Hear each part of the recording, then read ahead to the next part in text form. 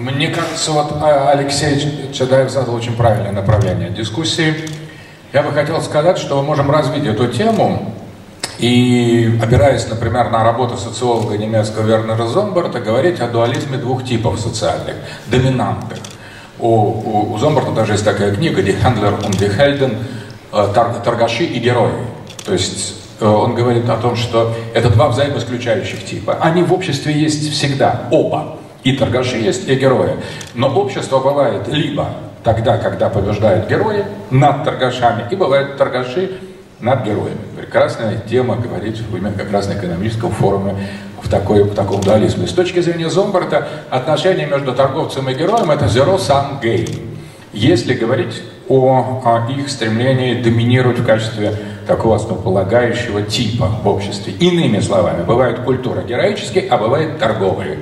Торговые антигероические, они ориентированы на мирную жизнь, на частное обогащение, на приватность, на, на гражданственность. И бывают героические культуры, которые ориентированы на подвиг, на аскезу, на свершение, на славу, на, на честь, на иерархию, на государство. Совершенно другой набор приоритетов. И между ними zero sum game. То есть торговцы выигрывают, проигрывают воины, герои выигрывают, проигрывают торговцы.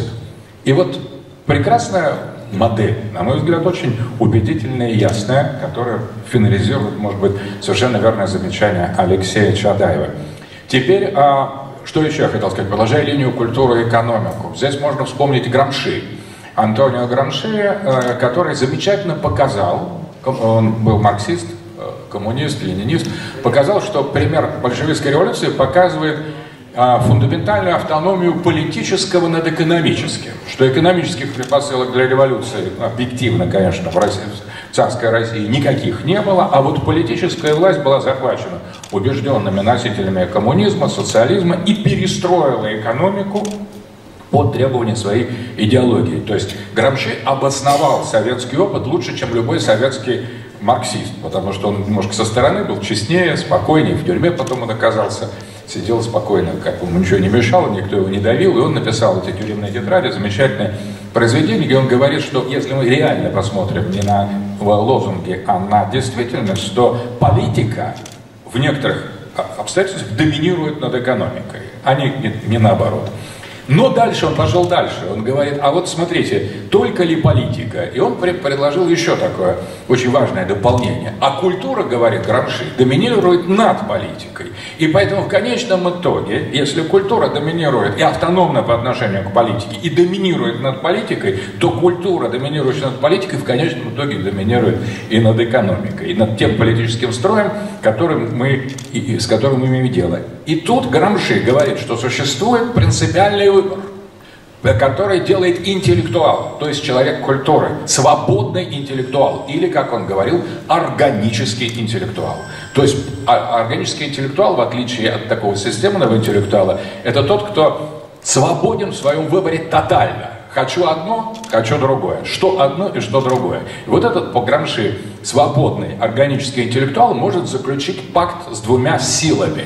С капиталом или с трудом. Это в марксистской версии. Но оказывается, что экономика – это то, что происходит в сознании культурного человека зарождается. Потому что один культурный человек говорит, я полностью согласен с капиталом, то есть с логикой торгашей, с цивилизацией, а другой культурный человек говорит, кем бы он ни был, в каком, сам к какому бы классу он ни относился в обществе, он говорит, нет, я заключаю исторический пакт по Грамши с трудом. То есть в нашем случае можно перефразировать, что свободный культурный интеллектуал совершает выбор между торгашами и героями.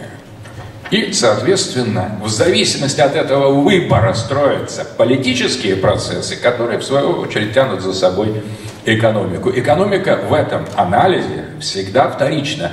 И не экономика предопределяет капитализм, а сознание капиталиста предопределяет капиталистическую экономику. Но здесь уже Макс Вебер Здесь уже протестантская этика. То есть здесь мы видим, что капитализм сам по себе является историко-культурным феноменом, который подстраивает экономику под свои собственные преференции, а не наоборот, не просто отражает объективно существующий в истории процесс. Этот нарратив объективно существующий предпосылках капиталистического развития создан капиталистами, именно теми культурными э, органическими интеллектуалами, которые полностью перешли на, э, э, на сторону торгашей и стали их идеологами, о чем Дистут Дет России, собственно, и говорил, вводя понятие экономику. Теперь к нам как это применяется. Вот сейчас страна в войне. И в нашей стране а, существует а, линия фронта, линия боевого соприкосновения, и это территория войны.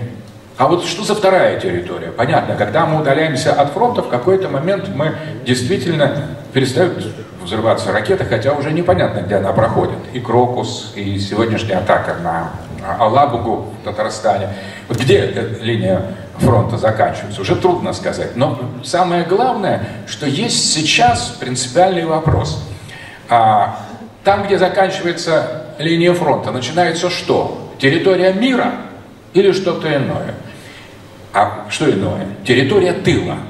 Вот смотрите, сейчас вопрос о том, линия фронта понятна, а вот линия не фронта, за этим пределом. Вот выбор, который сейчас делает наше общество, наша власть, а, как мы знаем из Грамши, в первую очередь это делают деятели культуры, свободные, органические интеллектуалы, это как понять, как интерпретировать территорию, удаленную от фронта. Либо как территорию мира, тогда здесь будет культура мира, либо территорию тыла тогда здесь будет культура победы, культура войны, если угодно.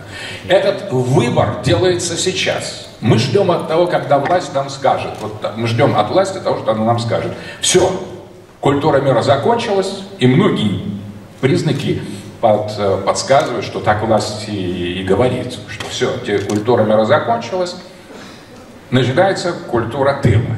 Но мы хотим все-таки, чтобы, вот видите, многие качают головой.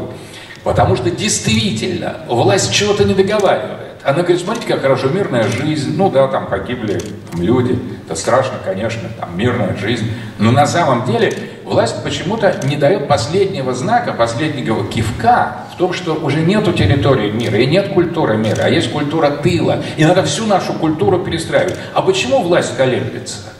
Потому что она сама зависит от этих органических интеллектуалов, от деятелей культуры. Не надо ждать от власти, пока она окончательно введет здесь жесткие законы тыла и заставит деятелей культуры соблюдать эти правила. Деятели культуры должны осознать, что то, что они ждут от власти, власть ждет от них. Все происходит в нашем сознании. Поэтому сейчас задача осуществить этот исторический пакт с нашим народом, с нашим президентом, с нашей историей, с нашей идентичностью и вступить в войну, где бы мы ни находились, и превратить тем самым не наше, где мы находимся, в общество, в территорию войны, а превратить наше общество, в котором мы находимся, в территорию тыла.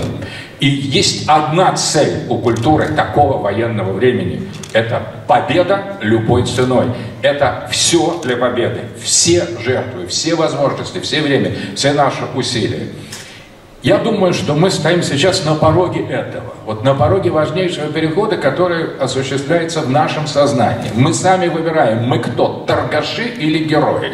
При этом, на самом деле, по Зомборту герой может быть человек, который занимается бизнесом, который может заниматься торговлей, который может быть довольно тихим обывателем, но он понимает, что такое война и что такое героизм, и переходит на эту сторону. И также торгашом может быть военный. То есть не всякий военный заведомо герой. Это тоже очень важно. Это выбор гораздо более глубокий. Это выбор, который проходит в нашем сердце. И я думаю, что сейчас э, необходимо именно совершить этот выбор. И его многие совершают. И потом уже, не спрашивай за что, вот на самом деле совершив э, этот выбор, выбрав либо ты с народом, с президентом, с государством, с войной, с нашей линией фронта, либо ты не, это не твоя война, и ты прилежишь миру, ну и тогда вот история с Пугачевым, с Пугачевой, с Галкиным, с релакантами, или с внутренними ждунами, которые сидят между нами и думают, когда же этот кошмар закончится, чтобы вернуться к предшествующему. Никогда. СВО началось, но никогда не закончится. Лучше так считать. И поэтому, потому что либо победа, а это будет новое государство, новое общество, новая Россия, новая культура. Ну а в противоположном случае либо ничего, потому что проигрыша у нас нет на проигрыш никакого права. Мы находимся в очень жесткой ситуации, и люди культуры как раз и являются главным решающим элементом этой фундаментальной экзистенциальной проблемы. Благодарю.